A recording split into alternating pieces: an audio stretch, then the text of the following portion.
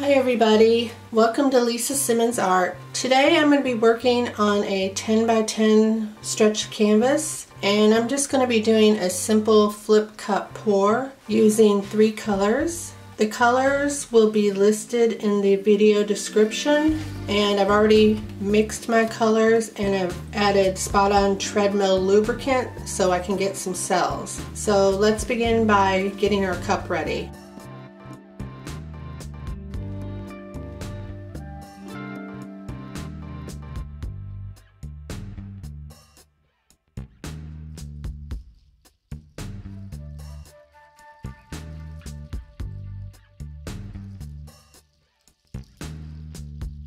I'm going to be adding a little bit of white to the top of my cup. I'm going to give the cup a slight stir in the shape of an X. Just going to flip the cup onto the canvas and let it sit there for a few moments so that the paint can go all the way down the cup.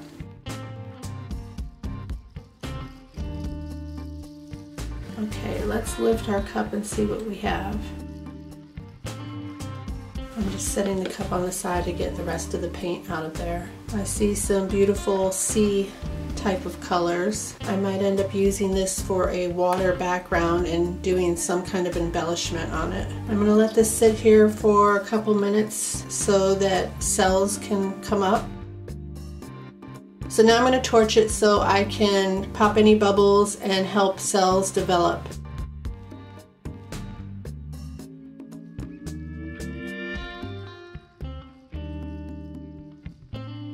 So I do see some more cells coming up. Let's tilt this and see what we have. Always try to bring it back to the center.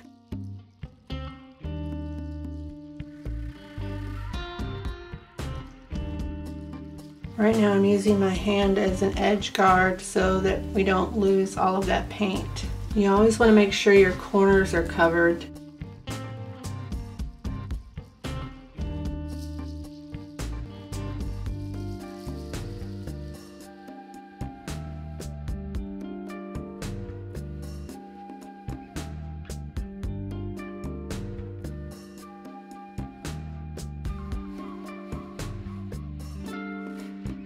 Now I'm just letting it flow back to the center.